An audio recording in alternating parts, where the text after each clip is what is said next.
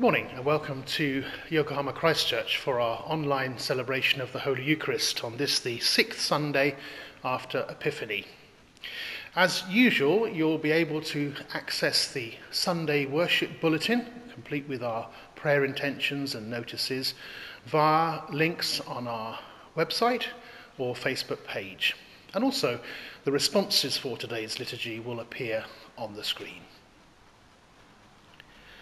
Come to us, Lord Jesus Christ, as you stood among your disciples in your resurrection body, so be present with us now. Almighty God, to you all hearts are open, all desires known, and from you no secrets are hid. Cleanse the thoughts of our hearts by the inspiration of your Holy Spirit, that we may perfectly love you and worthily magnify your holy name. Through Christ our Lord. Amen. My brothers and sisters, as we prepare to celebrate the presence of Christ in word and sacrament, let us call to mind and confess our sins.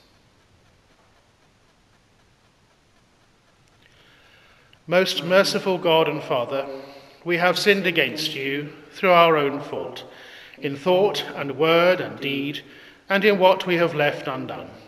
For your Son, our Lord Jesus Christ's sake, forgive us all that is past and grant that we may serve you in newness of life to the glory of your name. Amen. Almighty God, who forgives all who truly repent, have mercy upon you, pardon and deliver you from all your sins, confirm and strengthen you in all goodness, and keep you in life eternal. Through Jesus Christ our Lord. Amen. Amen.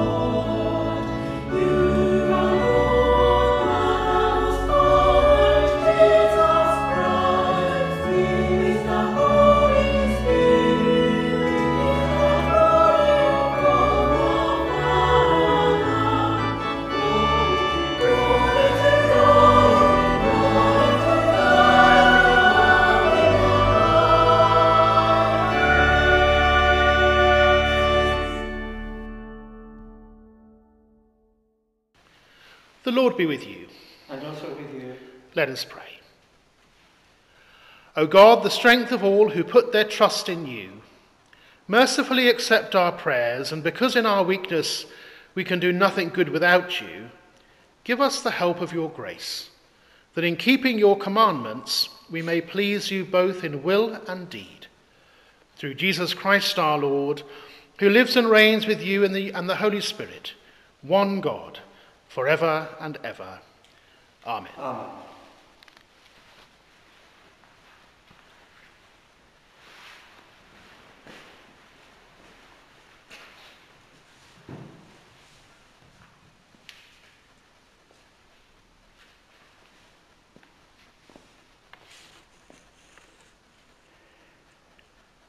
The first reading is taken from the prophet Jeremiah.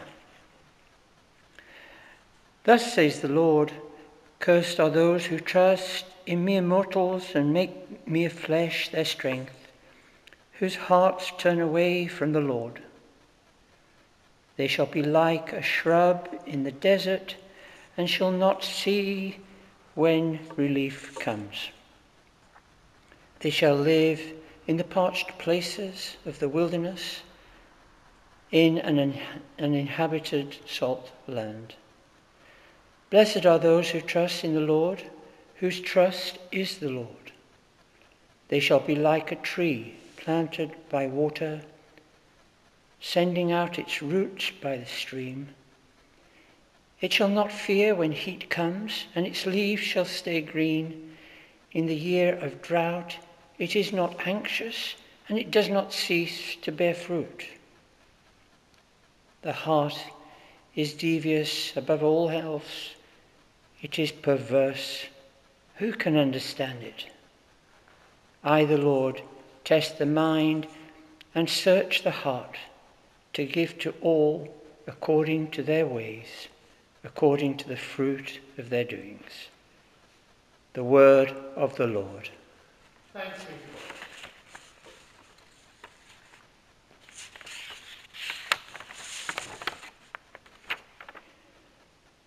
Psalm 1. Happy are they who have not walked in the counsel of the wicked, nor lingered in the way of sinners, nor sat in the seats of the scornful. Their delight is in the law of the Lord, and they meditate on his law day and night. They are like trees planted by streams of water, bearing fruit in due season, with leaves that do not wither. Everything they do shall prosper. They do not fall with the wicked. They are like chaff which the wind blows away. Therefore, the wicked shall not stand upright when judgment comes, nor the sinner in the counsel of the righteous. For The Lord knows the way of the righteous, but the way of the wicked is doomed. Glory to the Father, and to the Son, and to the Holy Spirit, as it was in the beginning, is now, and will be forever. Amen. The second reading is from the first letter of St. Paul to the Corinthians. Now, if Christ is proclaimed as raised from the dead, how can some of you say there is no resurrection of the dead? If there is no resurrection of the dead, then Christ has not been raised. And if Christ has not been raised, then our proclamation has been in vain and your faith has been in vain. We are even found to be misrepresenting God because we testified of God that he raised Christ, whom he did not raise, if it is true that the dead are not raised. For if the dead are not raised, then Christ has not been raised. If Christ has not been raised, your faith is futile and you are still in your sins then those also who have died in Christ have perished. If for this life only we have hope in Christ, we are of all people most to be pitied. But in fact, Christ has been raised from the dead, the first fruits of those who have died. The word of the Lord. Thanks be to God.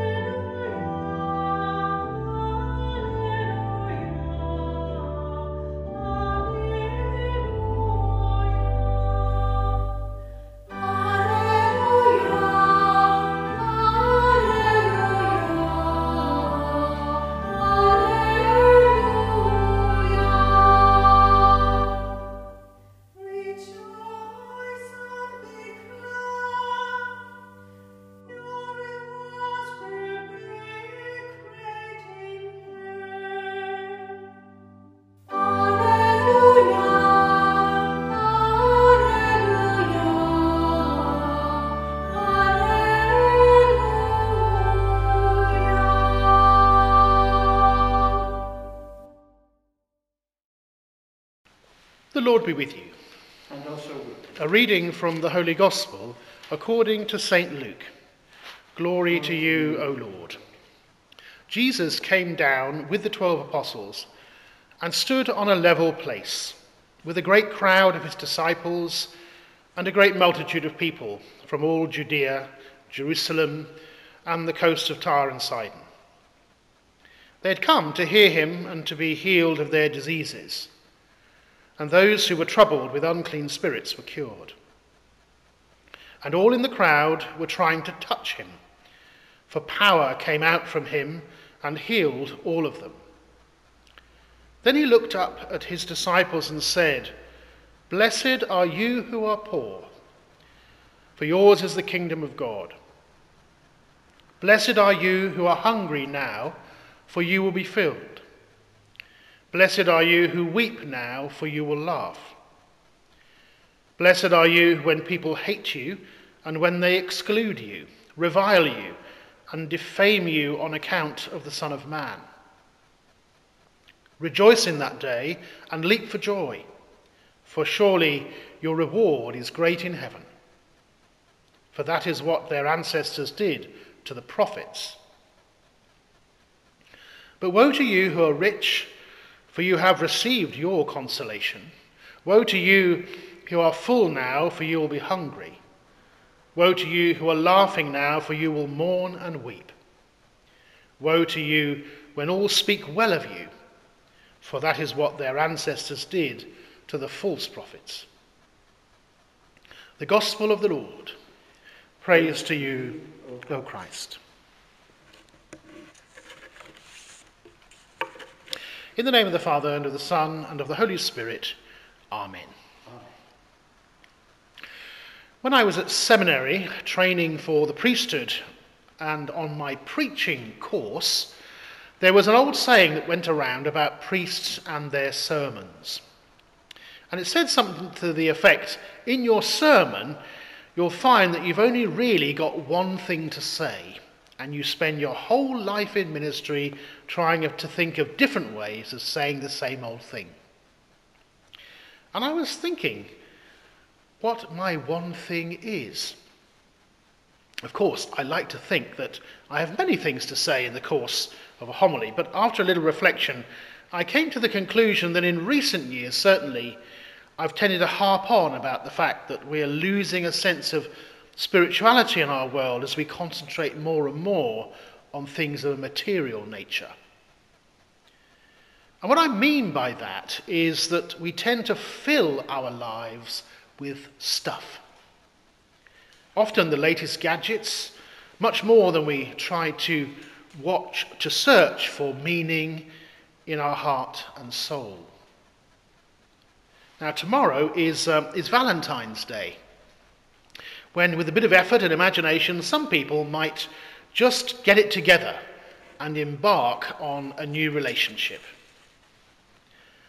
Of course, on a superficial level, it's a day when you send your secret love a card that mysteriously drops through their letterbox, a declaration of love from a secret admirer.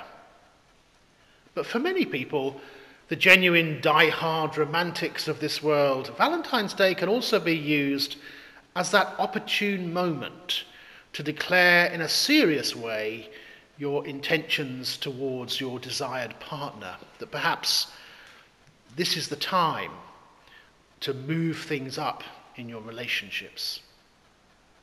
It might even lead to wedding bells and the setting up of a home together. And with weddings come gifts, and the traditions regarding wedding gifts vary across the globe. Here in Japan, there is a tradition of giving cash, but in many Western countries, it's much more the custom to buy a gift. But even there, things have changed over the years. I wonder, those of you who were married some years ago, whether you can remember what you had when you first set up home. What was it that you expected to receive as a wedding present? I remember my parents telling me that they had nothing when they embarked on their life together and worked long and hard before they would acquire many of the things that today we take so much for granted. You'd be horrified today moving into a new home and not having a fridge or a, a washing machine or a smart TV. People today just wouldn't put up with the lack of material goods that years ago one only dreamed about. It is as if we have come, we have become possessed by our possessions. We tend to define ourselves and measure our success by the things we have rather than by the person we've turned out to be. Well, Jesus is talking about possessions in the gospel for today. But not possessions as we would recognize them. It's a famous passage of St. Luke we call the Beatitudes. How blessed or how happy are those with, with what? The latest iPhone? Blessed are you who are poor, said Jesus. Blessed are you who are hungry now. Blessed are you who weep. Blessed are you when people hate you. The Beatitudes, as they are called, are a vision of the way Jesus wants us to live. The Beatitudes give his outlook on life, his angle on things. And his outlook is very different from what we might consider desirable and acceptable. Jesus is asking us what we consider to be precious in life. Another example. Just imagine you were going to a family wedding and you had to choose a present for the happy couple, but you weren't allowed to choose anything material. No money, no object or thing at all. No toaster, no bale of towels, no microwave oven. What would you want to give them?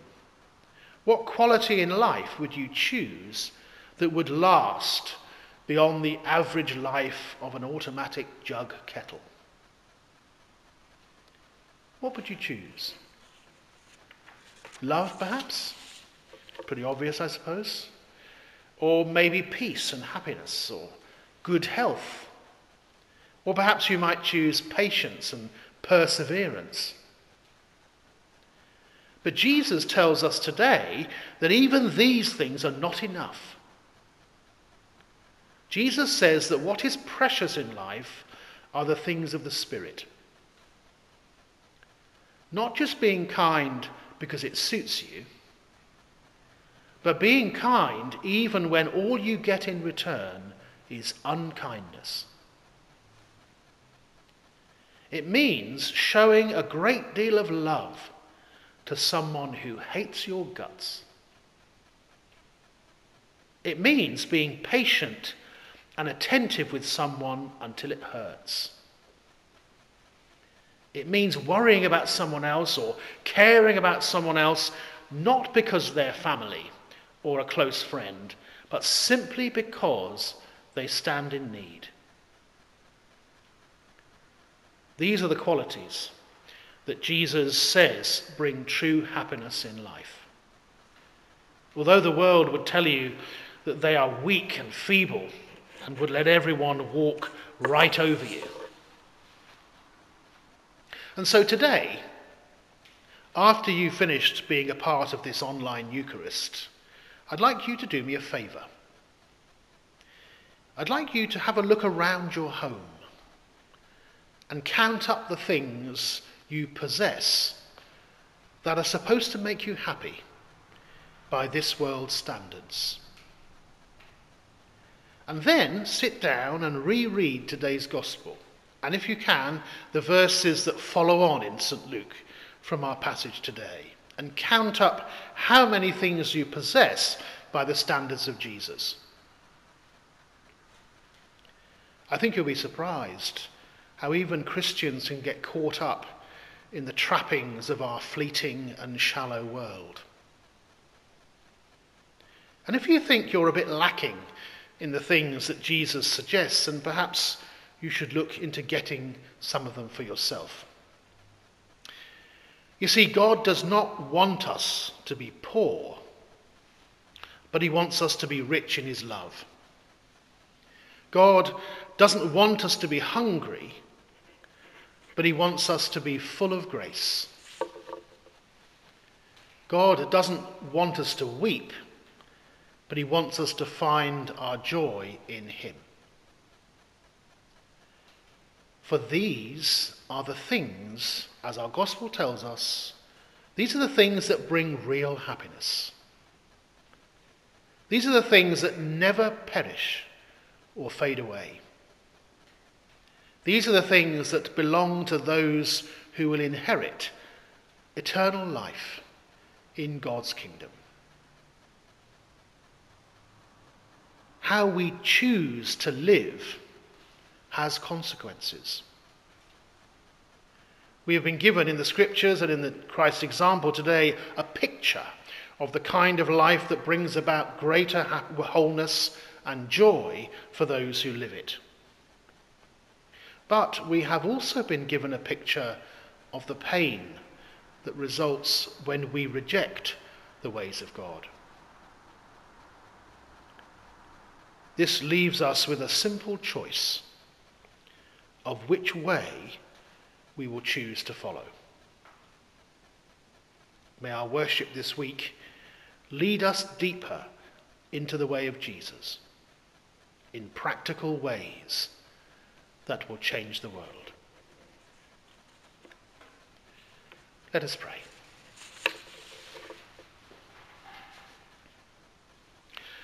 God our Father, you appeal to us today through your Son to choose freely and responsibly the kind of happiness that endures.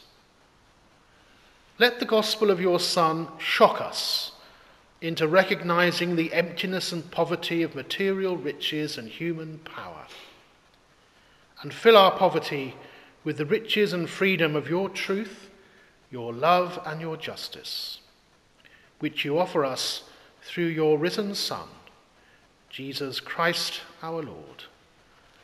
Amen. Amen.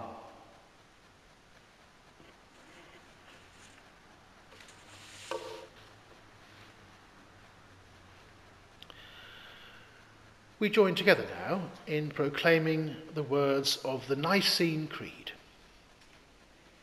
We believe in one God, the Father, the Almighty, maker of heaven and earth, of all that is seen and unseen.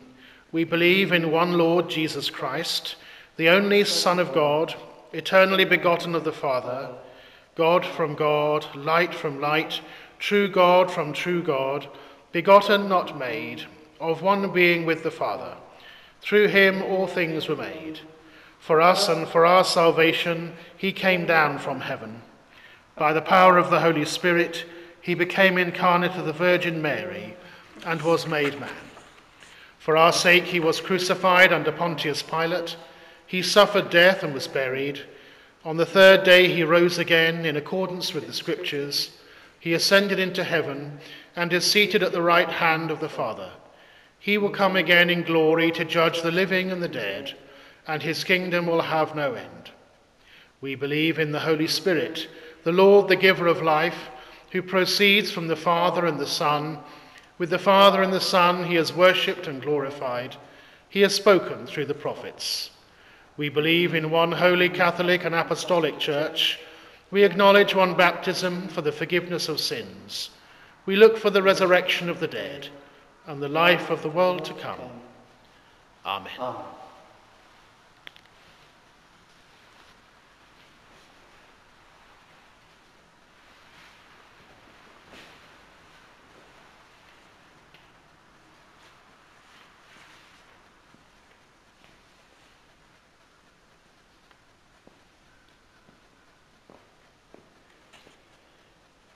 Trusting in the words and works of Jesus Christ our Saviour, let us pray for the church and for the world. This week, we invite you to please pray for, in the world, for those affected by COVID 19, the people of Ukraine, for Myanmar and Afghanistan, for those participating in the Olympics. In the Anglican Communion, we pray for the Nippon Seikokai In the mission to seafarers, we pray for MTS in Australia, Western and Southern Australia ports. In our diocese, we pray for St. Mary's Church in Ichikawa, for the victims of discrimination, for those who are sick or in special need. We continue to pray for Kathy Langley, Riley, Steffa, Kurt Koch, Geraldine and Chester Gibson, Daniel Acton, Lisa Zubak, Brian Dangerfield, and Mike Miltenberger. And for those who have recently died, we pray for the repose of their souls. Lord God, strengthen your church to carry forward the work of your Son. Guide Ignatius, our bishop, Andrew, our rector, and your faithful people and ministers, that all who call upon your name may be united in your truth and love, and day by day may show forth your glory in the world. Lord, hear us. Give wisdom to the people of this and every land, and direct all nations in the ways of justice and of peace, that we may honour one another and seek the common good. Lord, hear us. Give grace to us, our families, and all our friends and neighbours, that we may know and serve you and live in mutual love. Lord, hear us. Help and comfort the suffering and the sorrowful, the sick and the poor, and all in any kind of trouble. Give them your strength, increase their courage and hope, and bring them the joy of your salvation. Lord. Look in mercy upon all who have departed this world, and fulfill in them the purpose of your love. We bless your holy name for the grace you have given to your faithful witnesses in every generation, sharing in their fellowship. We pray that we may join with them in the glory of your kingdom.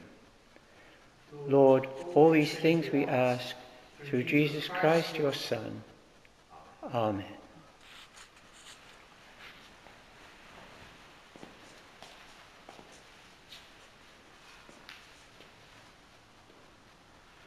Christ is our peace. He has reconciled us to God in one body by the cross. We meet in his name and we share his peace. The peace of the Lord be always with you. And also with you.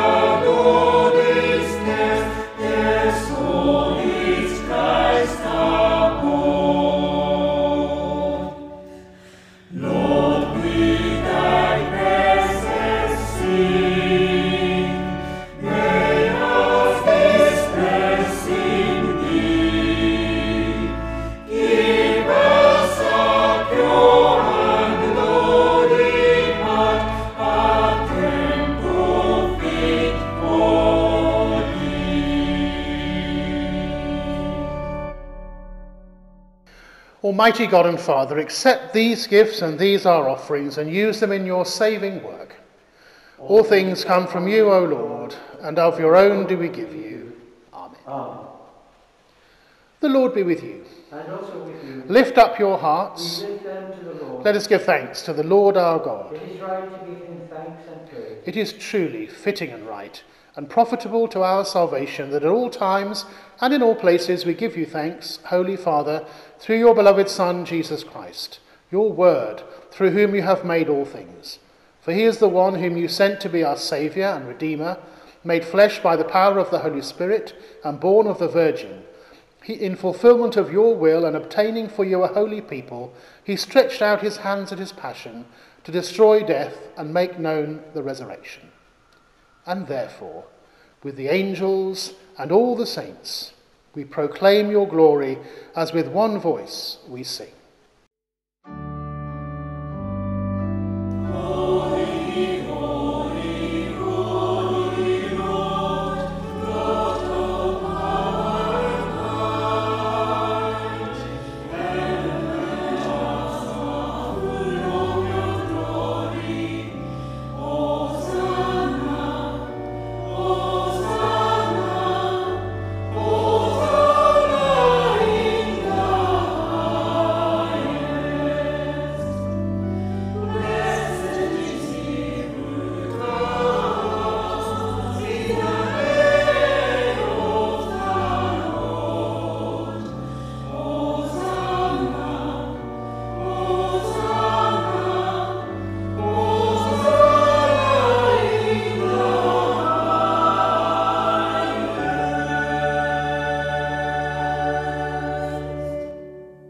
You are holy indeed, the fountain of all holiness. Send down your Holy Spirit upon these gifts of bread and wine, that they may become for us the body and blood of our Lord Jesus Christ. At the time he was betrayed and entered willingly into his passion, he took bread and giving thanks broke it and gave it to his disciples, saying, Take, eat, this is my body which is given for you. Do this in remembrance of me.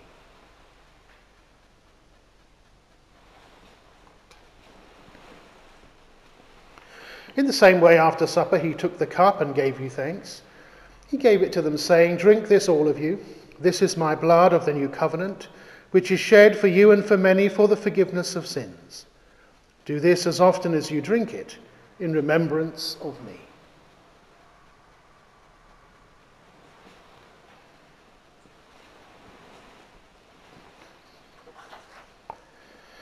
Let us proclaim the mystery of faith. Christ has died, Christ is risen, Christ will come again. In memory of his death and resurrection, we offer you, Father, this bread and this chalice. We thank you for counting us worthy to stand in your presence and serve you. Send your Holy Spirit upon the offering of your holy church. May all of us who partake of your holy mysteries be brought together in unity by the Holy Spirit. May we praise you in union with all the saints and give you glory through your Son, Jesus Christ through him, with him, and in him, in the unity of the Holy Spirit, all glory and honour is yours, Almighty Father, in your holy church, both now and to the ages of ages. Amen. As our Saviour taught us, so we pray. Our Father, who art in heaven, hallowed be thy name. Thy kingdom come, thy will be done, on earth as it is in heaven. Give us this day our daily bread, and forgive us our trespasses, as we forgive those who trespass against us. And lead us not into temptation, but deliver us from evil. For thine is the kingdom, the power, and the glory, for ever and ever. Amen. We break this bread to share in the body of Christ. The bread we share is one. Though we are many, we are one body. Love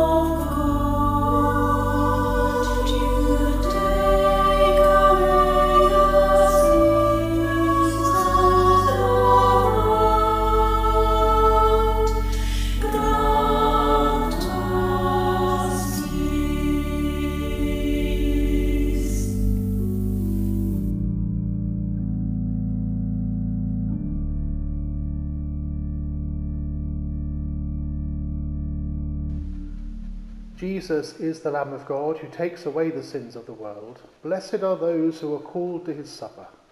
Lord, I am not worthy to receive you, but only say the word, and I shall be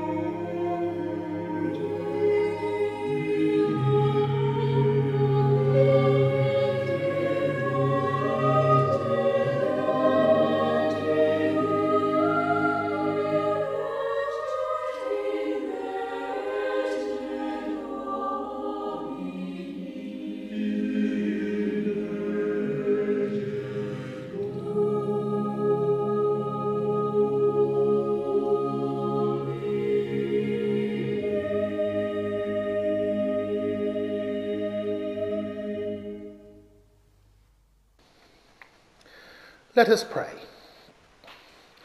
Go before us, Lord, in all we do, with your most gracious favour, and guide us with your continual help, that in all our works, begun, continued, and ended in you, we may glorify your holy name, and finally, by your mercy, receive everlasting life. Through Jesus Christ our Lord. Amen.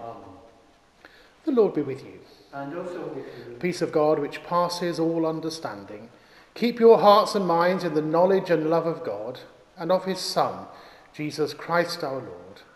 And the blessing of God Almighty, the Father, the Son, and the Holy Spirit be upon you and remain with you always. Amen. Amen. Alleluia. Go forth with Christ. Hallelujah. In the name of the Lord. Amen.